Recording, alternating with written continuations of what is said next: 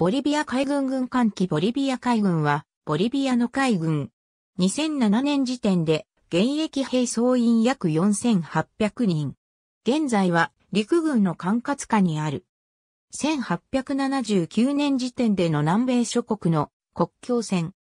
太平洋戦争以前のボリビアは、太平洋に面していたボリビア海軍の船舶、ボリビア海兵隊員ボリビアは1879年から1884年の太平洋戦争に敗北してアントファガスタ県をチリに奪われて以降100年以上にわたって海に面していない。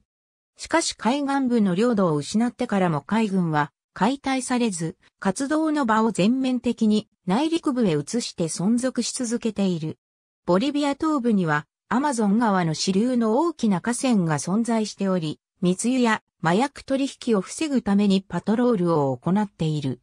また、世界で最も標高の高い航行可能な湖である、チチカカ湖でも活動している。1989年時点では、海軍の人員は3800人であった。海軍は、クワキ、プエルトグアヤメリン、プエルトスアレス、リベラルタ、ティキーナの5つの地区、プエルトブッシュ、プエルトハークイラ、プエルトビリアロエル、トリニダ、ルレナバケの基地から構成されている。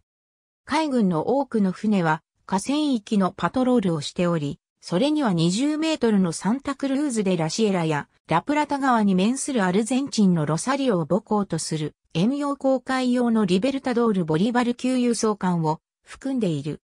1993年に海軍はアルマダからフェルサネーバルと改名され、陸軍の元に移された。海軍総司令官の下、以下の職位、組織がある。海兵隊は2007年時点で、現役兵1700人が所属。2011年6月現在、ジェーンズファイティングシップス2011から2012より、固定翼機、ありがとうございます。